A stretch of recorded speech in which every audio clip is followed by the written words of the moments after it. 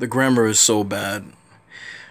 black men love black women, of course, but they're used to it. White men like black women differently, I guess that's what they're trying to say. For a white man, having the opportunity to date a beautiful black woman isn't one he's likely to forget soon. Black women are exotic and alluring for almost all white men, and you'll definitely feel a lot more desire with a white man than you will with a black man. Just look just look at the praise that white men often give black female celebrities, and you'll see that there is something about the black feminine form that they simply can't resist. It's called they want to fuck them. Yeah, black men want to fuck black women too, but come on. You know, th- these lies, man. Oh, God.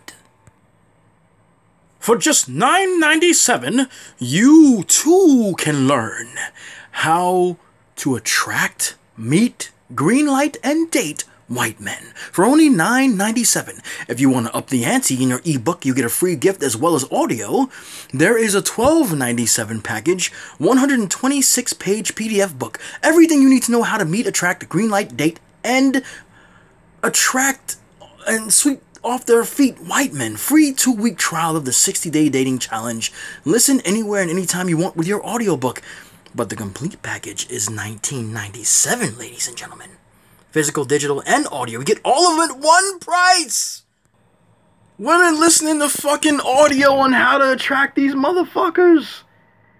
$20, 126 page book on how to be with a man outside your race. I can't make this shit up, my god, bro. Oh man you have to really be desperate to want to even attract them, to even want to be with them, to even want to have their children, to even want to date. You have to really be desperate. You really have to be desperate.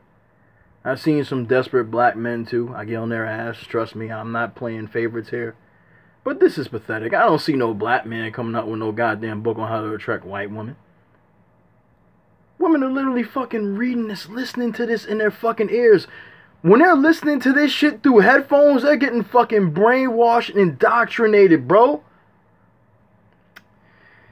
Whoo, man, I can't believe I can't believe this is a fucking thing. This is sad. This is really fucking sad. Our ancestors, the women who were raped by these men, the black men who lost their lives to these fucking men trying to defend their families. This this is so disrespectful, man. Oh my god, Jesus Christ our people getting killed out there. They've been getting killed out there. And we got women who should know better than to do this, and men who should know better than to do this, still doing this shit. This don't even look right. It doesn't even look right. So I said, you guys want to talk about Nina Simone, but Nina Simone was laid up with a white man, and so was Maya Angelou. So was Maya Angelou. But you revere these these these these women. It's amazing. This black man is an embarrassment. This is Diddy. We know who he is, Sean Combs. On the beach with a white woman known as Tina Louise, who is in a relationship with former 90210 star Brian Austin Green. They literally just broke up. And Diddy is on the beach with this woman kissing on her. Man, the, the, black men like this, I have no respect for. I have gotten on the black women that date outside their race, but black men like this, I got no respect for you. You get some money, you get some fame. All of a sudden, fuck black woman, you go to the white woman. Go, you ain't going nowhere else. Going right to the white woman. Didn't his uh, ex-wife die this year or last year in 2019? This is him moving on to better pastures. Grass ain't greener, brother. It's not. I use that term real loosely. Pathetic. Black men like this make me sick to my stomach. I don't understand how these black men are with these women. I don't understand it because I will never be that horny or starved for sex in my life that I would ever want to date outside of my race as a black man. I don't give a damn if someone feels that it's offensive that I said that. I'm saying what's true to my heart. I have never deviated from that. I've always stood by what I say, and I continue to stand by it to this day until my dying day, until my last breath. When I see men like this, they're pathetic. Just like when I see black women with white men, they are pathetic. They move right on from people in their own community and go outside their community with the very people who have caused their ancestors' deaths. And they act like this is a new day. These are the same motherfuckers that will get up in front of a camera and say we all need to get along and stop protesting and you know slavery is in the past we need to move on they're all not like that. Man i'm not trying to hear none of these motherfuckers because when i see what they do in their life i know what team they're playing on. And i'm not part of that fucking team. Literally there are a ton of beautiful black women out here in this world. We got african women out here black men what makes you go to the woman of another nation, the woman of a of another race? What what what, is the allure of it? I don't understand. And I know it's not all black men because there are many black men that come to my channel and they love my slideshows on black females. They love black women in general. So black women should not be believing the hype thinking that every single black man is chasing after a so-called Becky or, you know, white woman if you want to call her that, if you don't want to call the actual Becky name, okay? A lot of us ain't doing that. A lot of us just want to be with you, and that's it. That's why we don't like you with those men. We hate it. We don't like it. Just like you say you don't give a shit when we're with those white women, but you do. That's why many black women are acting out now and wanting to be with those men, or just being with those men to get back at black men.